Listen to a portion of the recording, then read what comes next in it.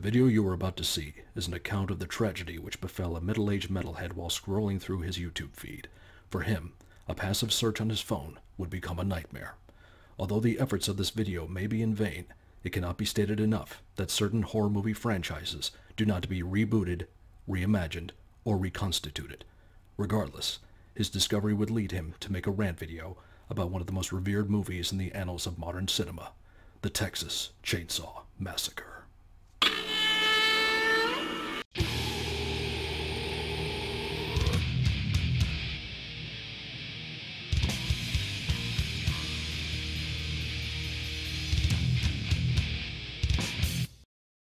Okay, let's get one thing straight right off the top.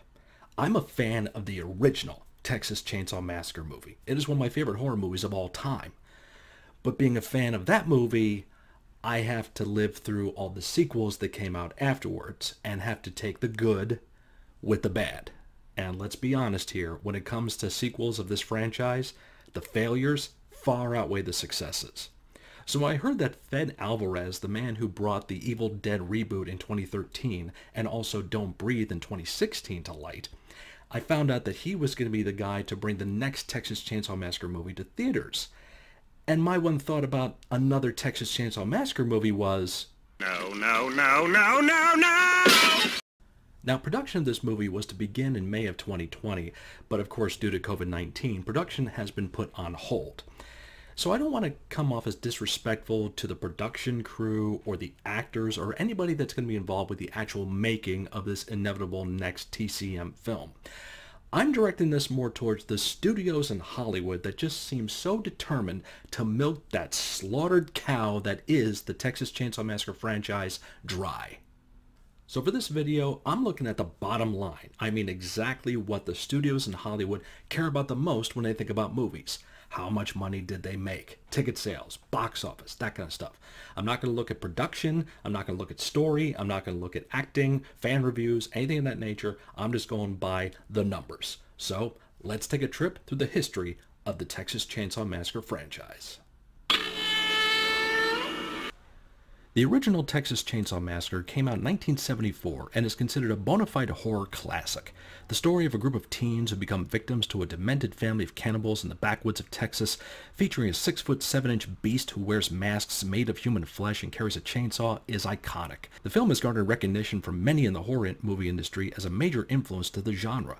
Arguably, it invented the final girl trope in horror films, and for all intents and purposes, the original Texas Chainsaw Massacre cannot be touched.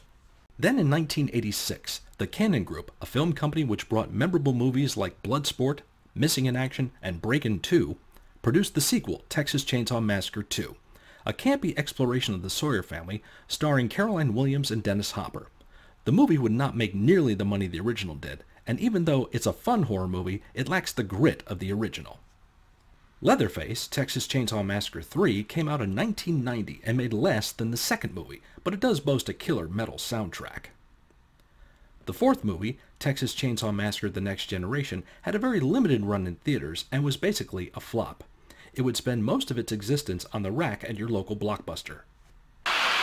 What? You know, Blockbuster? What? You know, the old video rental business? What? Well, anyway, it would seem that the barbecue shack was closed up for business, but not if Michael Bay has anything to say about it. In 2003, the reboot to the Texas Chainsaw Massacre franchise came out and was a massive success, grossing over $107 million worldwide. This spawned a prequel in 2006, Texas Chainsaw Massacre The Beginning, which did relatively good numbers but didn't come close to the success of its predecessor. 2013 saw Texas Chainsaw 3D be released which did less than the previous movie. There are many timeline issues with this film, but Gunnar Hansen and Marilyn Burns from the original film do make cameos as part of the Sawyer family, so there is that. Finally, we had Leatherface in 2017. This film gives the backstory of the original movie, and by this point, the money is just not there anymore as it didn't even break a million dollars at the box office. So what did we learn from this history lesson? We learn that the original cannot be touched as far as fandom and influence is concerned. The next three movies after it wouldn't even come close to it at the box office. 2003's release would be the biggest grossing movie in the history of the franchise, and the next three movies after it wouldn't even be able to match up altogether. So what does the future hold for Jedediah Bubba Thomas Brown Sawyer Slaughter Hewitt? Well, from what I found out about the next movie, the Leatherface character, who is now named Kenny for some reason, is supposed to be an old man at this point, around 60 years old. It's also been reported that there's another character in the movie named Mrs. MC, who is the only person who can calm Kenny. She is supposed to be around 80 years old and about to be evicted from her home. Seriously? This is the best you can do, Hollywood? Are you kidding me? Listen, I speak for no one else except myself when I say, we don't need any more of these movies made.